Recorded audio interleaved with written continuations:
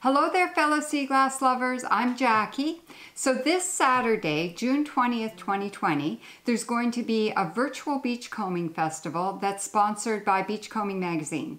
Just go to www.beachcombing.fun and you'll see all sorts of interesting stuff. There's going to be talks and speakers and all sorts of booths. I'm involved in it, I have a booth there, and there's going to be lots of people showing their sea glass and showing you projects. It'll be really worthwhile, so check it out.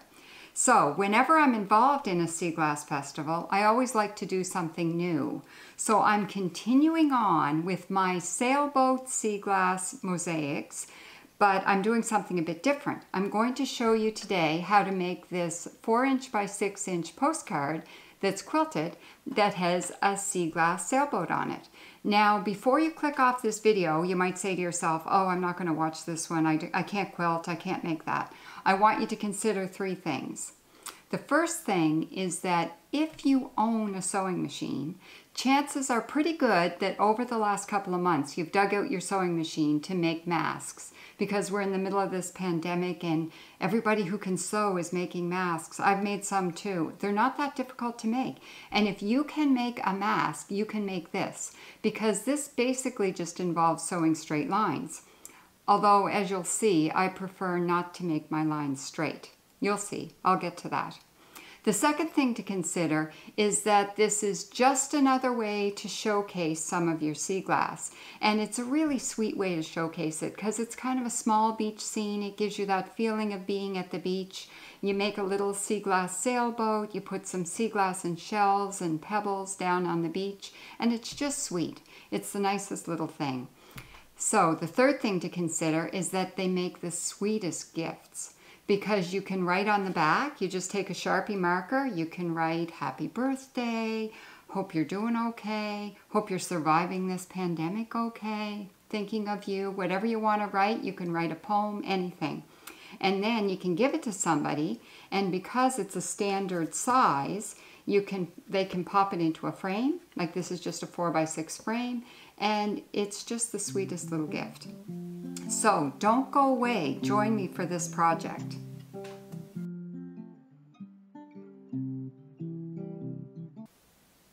So before you start this project, I do need to give you a warning. They can be very addictive. A little over a year ago, I decided I wanted to try to make a little postcard, quilted postcard things are in, and I thought I want to try to make one. Well, since then, I have made so many. I've made a ton of different designs, uh, lots of different colors. I've put sea glass on them, which is something a little bit different. Other people haven't done that, so I started doing that, and then I really got addicted to them. I've posted a few here up on my board just to show you. These are some of my beach scenes. They're not all beach scenes, but beach scenes tend to be my favorite. So that's why I'm showing you a beach scene today.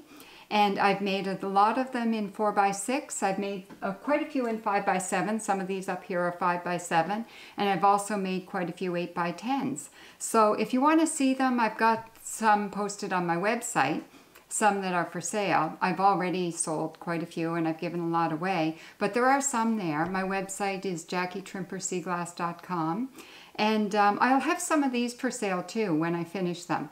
And if you're interested in any of them, you can go there. The other thing that I have on my website that you might be interested in, because of today's project, I'm going to post the pattern and instructions for doing today's project. You'll find that there. And I'm also going to put in a kit that contains all of the materials that you need to do it if you're interested. If you don't have a lot of materials and you think, I'd like to give this project a try, but I don't think I have all the stuff I need, you can get a kit. Just be forewarned that if you do one, you're going to be probably wanting to try a whole bunch more because they're so much fun. So the other thing you might find on my website, my book is there and my book is on sale 20% off for the Sea Glass Festival. So check it out, jackietrimperseaglass.com.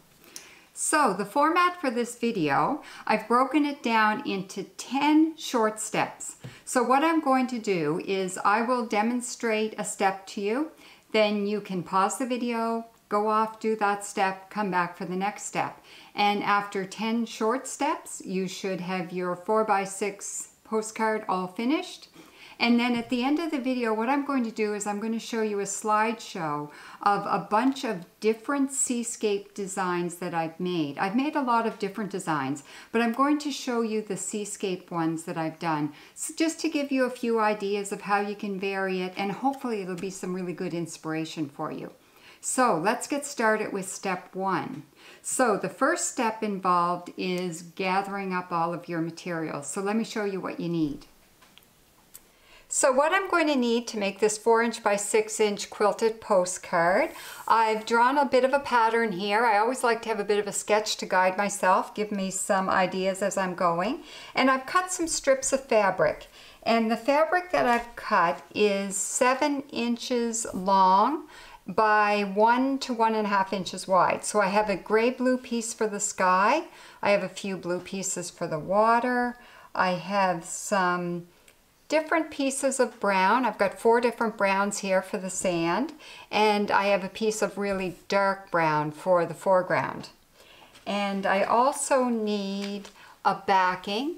So I've cut a backing that's four and a half inches by six and a half inches and I have a piece of batting, which is four and a half inches by six and a half inches. I have a piece of fusible web that is four inches by six inches. And I have a piece of fusible Pellon stabilizer, which is four inches by six inches. If you want some more information on these products, I've put a link in the comment section down below that you can look at if you'd like. Now I also need some yarn. So I have this ball of brown yarn here and I've cut a piece, not a very big piece of yarn. You can see I don't need that much yarn, just a little bit. And I also want some tan colored embroidery thread, so I have that. I need some beads. So I have a little container of beads here, but I only need a few. So I've just taken a few beads out here for this. And I want a little bit of sea glass. I have a green piece of sea glass for the sail. I've picked out a brown piece for the hull of the boat. And I've picked out some white and a couple of shells for the foreground in the beach. And if you're interested, this little kit has all of this stuff in it. And on top of that, which isn't included in the kit, you need thread, now you can use one color thread for this if you want. I like to vary my thread, so I have some brown thread for the brown part for quilting it. I have some tan color thread for the sandy part, and I have some blue thread for the water and the sky because I like to do that, but you don't need to do that if you don't want to. You need a little bit of glue to glue on your sea glass and shells. I like to use Kwik Seal Kitchen and Bath Adhesive Caulk, but if you don't have any of that, you can use any glue that dries clear.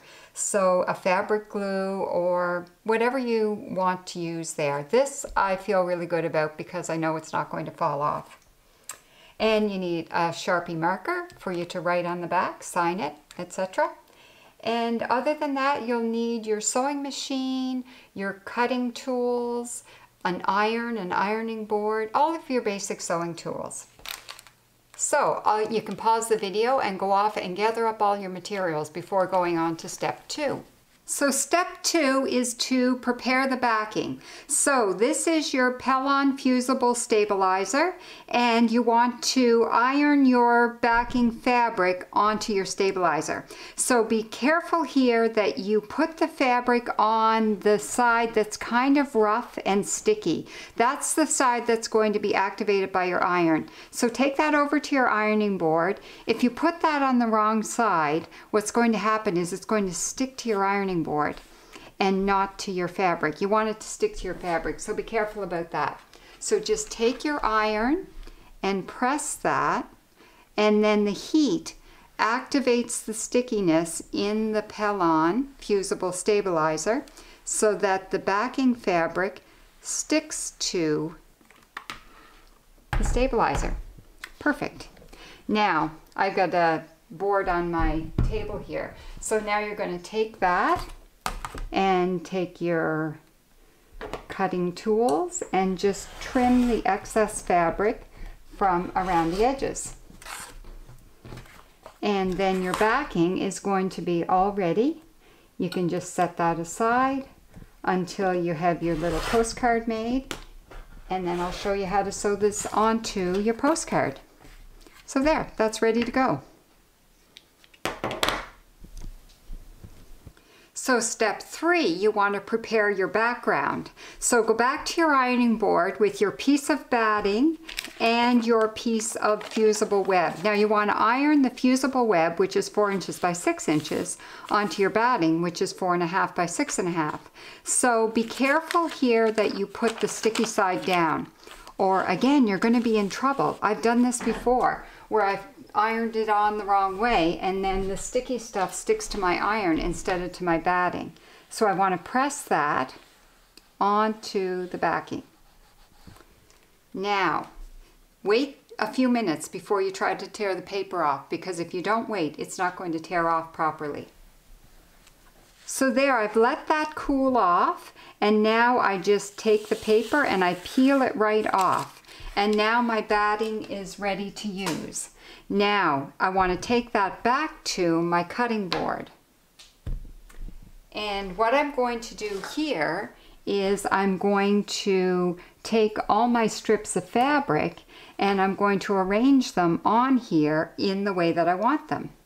So to do this, you don't want, what's going to happen is that I'm going to put all my strips onto my, bat, my batting and then when I press it, the heat from this sticky stuff here, the heat is going to activate and it'll make the pieces of fabric stick to the batting and that's my goal. So I don't like to have my strips really straight, so I like to cut them. So first I'm going to cut this sky fabric. And the sky can be kind of straight because it's up at the top. You want to arrange this so that you're going from top to bottom because it's going to stick better. And you want to make sure that there's a little bit of each piece of fabric that is touching the batting so that when you put the iron to it, it's going to stick. Now this is the only one that I want straight. I want the horizon line straight. So I'm going to take my blue and I'm going to use my cutting tool to make sure that my horizon line is straight. And then I'm just going to put a really thin bit of blue right there on the horizon line. And then I'll just continue on with the rest of my strips. And I'm going to make them a little bit wavy. So you see if I go like that, it's going to give me a little bit of a wave in the water. And with the sandy pieces, I'm going to do the same. I'm just going to do the tiniest little bit of a wave in my cut. And then I will arrange the pieces in a way, going from top to bottom, that they're just a little bit more interesting than if they were flat. If you would rather have your pieces of fabric flat, that's perfectly fine. This is your creation, not mine, so you make it the way you want it. I just like a little bit of a wave in my pieces. And I like to have the nice dark one right at the foreground so that so there I've got my little background all done. Now I'm going to go back to the ironing board. I got the magic of having an ironing pad here that I can just shift back and forth with my cutting board. And I'm going to take my iron, press that gently, and the pressing of that and the heat of the iron activates the stickiness in the fusible web so that there's a little bit of each strip that sticks to the backing and this is going to help it all stay in place while you sew it. And there, now we're ready to do the sewing and the quilting. And you'll notice if I go like this, it's not going to fall off because the stickiness is holding because there's a little bit of each strip that is on that sticky bit but then there's some loose pieces all along as well, which I kind of like because it gives it a bit of texture. So step four is to quilt the background. Now this is a technique that I call raw edge strip piecing. So I've got my strips of fabric and they have the raw edge up at the top here. And I really want to preserve that raw edge. So I don't want to quilt right at the top of each strip. So I'm going to use a free motion technique to quilt this. And um, if you want, you can just you do straight stitches. You don't have to go free motion. Like I mentioned earlier, I don't really like my lines straight. So that's why I like to do free motion quilting. So I'll show you how I do this.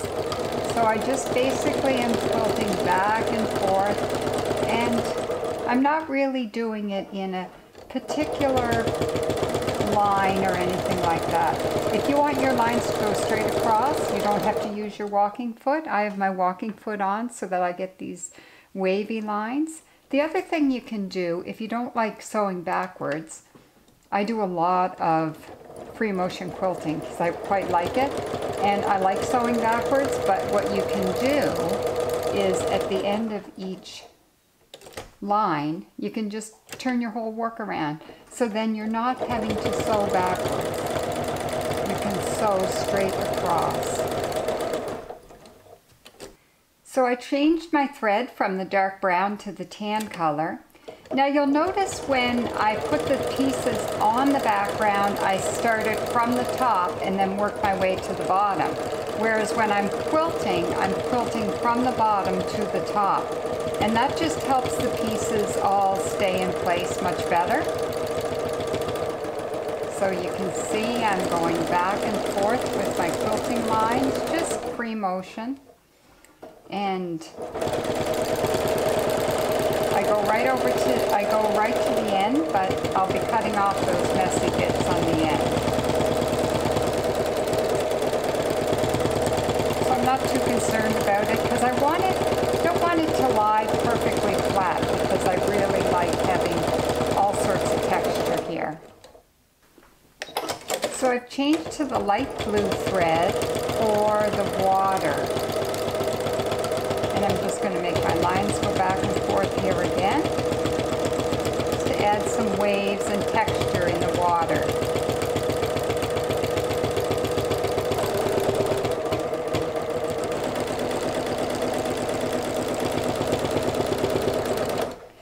Now this last line that I have coming across here is at the very top of the horizon.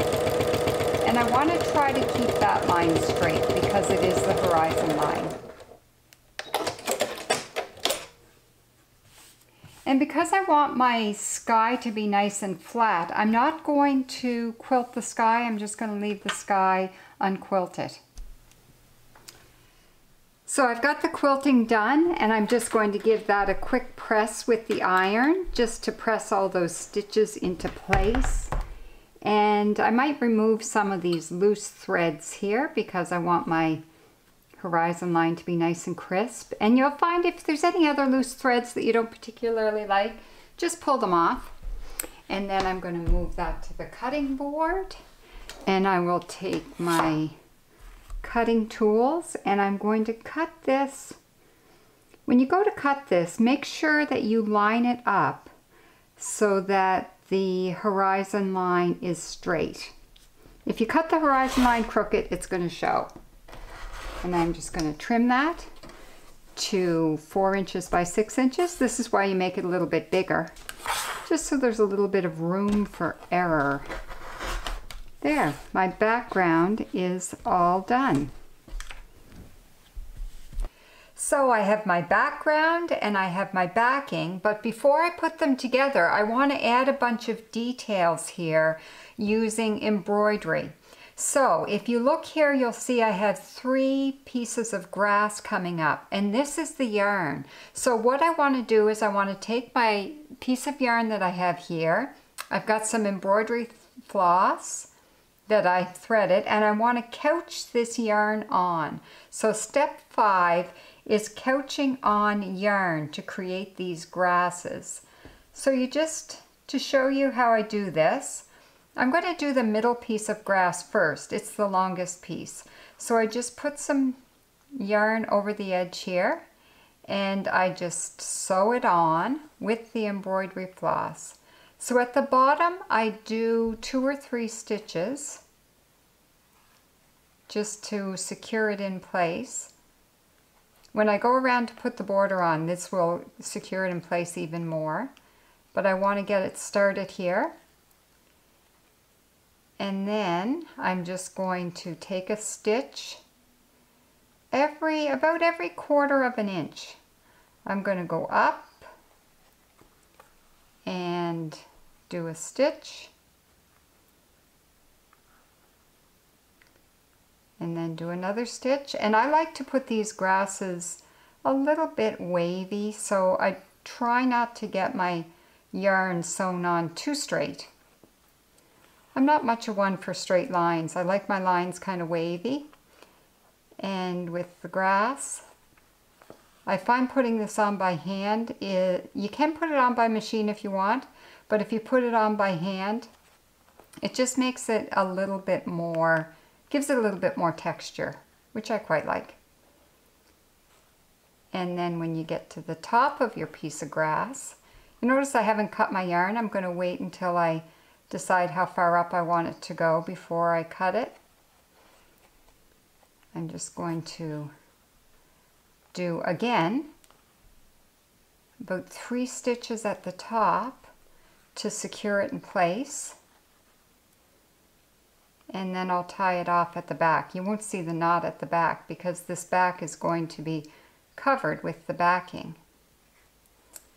Sorry, I'm being a little awkward here. I hope you can see that okay. But this is a technique that's called couching.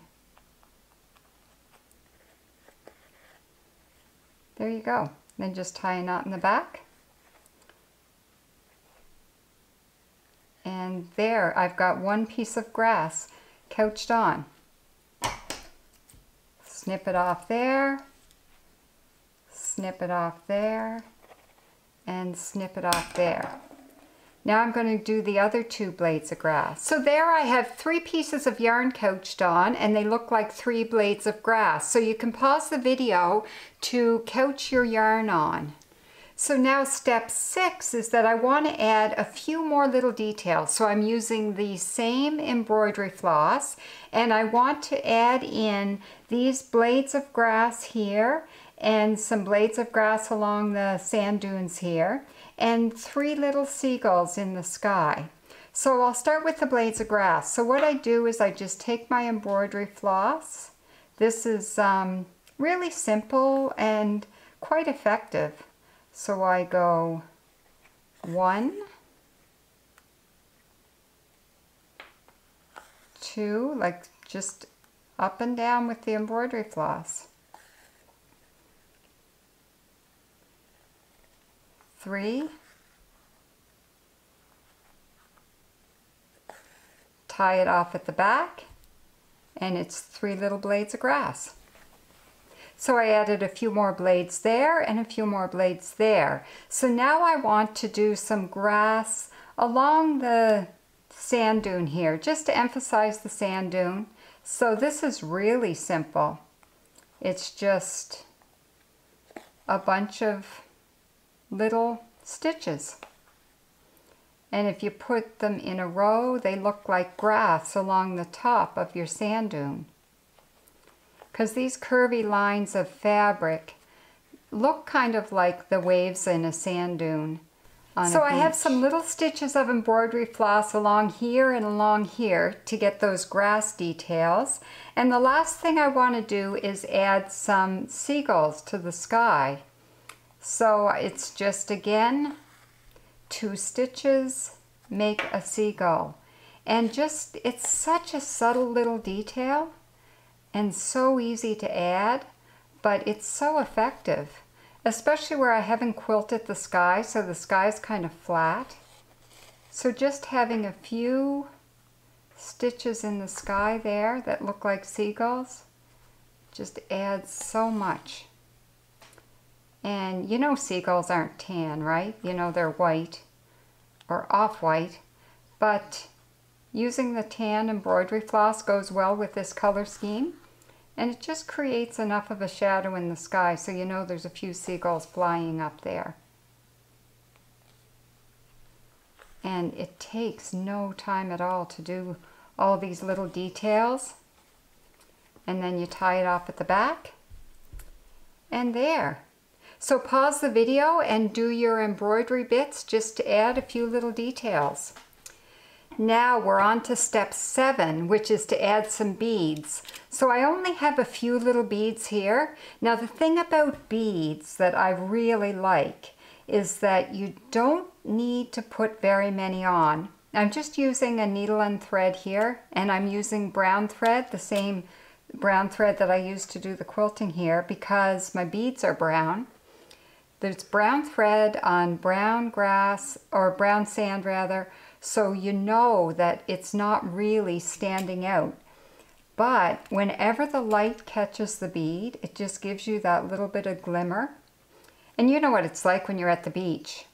Glitter is the name of the game when you're at the beach because the sun reflects off anything that's wet and gives you that little bit of glimmer. So I love having a little bit of glitter in any beach scene that I do. And beads are what really do the job there. So I'll just put a few tiny little beads on the sand, tie it off at the back. See how quickly you can do this. It doesn't take long at all. So grab your beads and a needle and thread and sew a few on the sand. Not very many. You don't want it totally covered because when you're down at the beach, it's not like that. Not everything is glittering. It's just when something's wet. The other thing that I like to do is to put these tiny little beads into the grass. And you can't, if like you can hardly even see the bead. It just kind of is hidden in the grass there. Like you might not even be able to see that.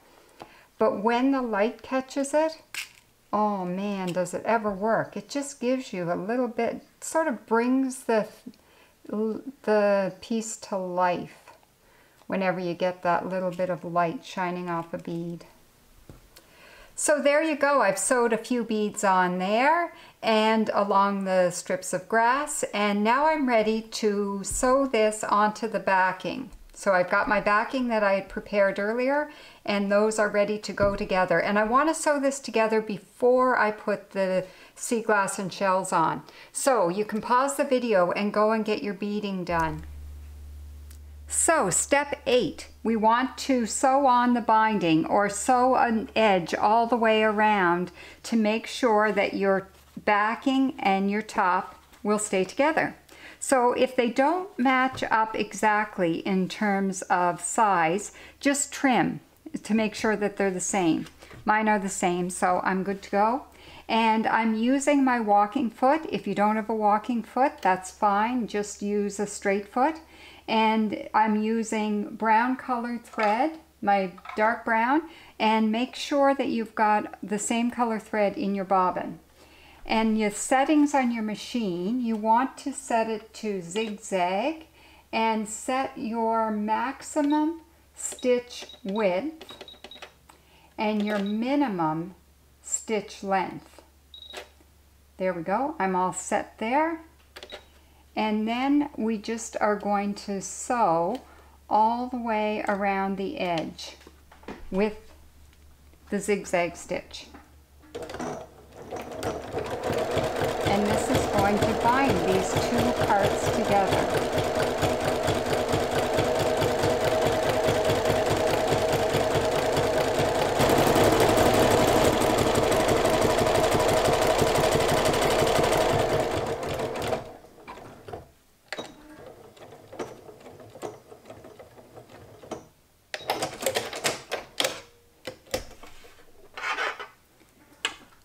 There you go, you have your binding sewn on. And the two pieces are sewn together. So step nine, I want to add my sea glass and my shells to complete my little scene. So I have my Kwik Seal Kitchen and Bath Adhesive Caulk, or if you want, you can use any glue that's going to dry clear. As you can see, this goes on white, but it dries clear, and you really want something that dries clear because it will show through the sea glass. And I'm going to put my sail there and my boat so it's floating along out in the water. And I'm going to put, I've got a couple of shells here and a piece of white sea glass that I'd like to have down here around my grass on the beach. Now I have to let that set for a little bit. I find that kitchen and bath adhesive caulk. You'll know it's set once it's dried clear. And then my little seascape postcard is going to be finished. So step 10, the last thing you need to do is to sign the back. I'll be careful here because that's not dry yet. But I take my Sharpie marker, sign my name to the back. I can decide if I'm going to give this to someone. I'll write them a nice note and then off you go. It's ready to go. So I just wanted to point out a few things to you that you can do different. I'm going to show you another one that I did and I'm going to point out a few differences because this piece uses all the same fabrics but I've made things a little bit different by putting the seagrass on this side instead of this side. You'll see it looks a little bit different. The sailboat's smaller. The seagulls are over here instead of over here. And the wave of the grass and the sand and whatnot is all just a little bit different. The other thing that makes it quite different is that instead of using the dark brown for the border, I use the light tan colored, sandy colored fab or thread for the border and it really changes the look of it. So there's a whole lot that you can do to just make it look a little bit different and make it your own. So thanks so much for joining me today. I hope you enjoyed this project. And if you have any questions or comments, post them in the comments section down below and I'll get back to you. And I hope you get a chance to tune into the Beachcombing Festival online. And it's really cool, really worthwhile. So stay tuned. I'm going to show you a slideshow of a whole bunch of my seascape scenes. Some of them have sailboats in them, some of them don't. Some of them are just variations on a theme, just to give you some inspiration and give you some ideas of how you can vary this project to make it look a bit different, make it your own. So until next time, happy sea glass hunting.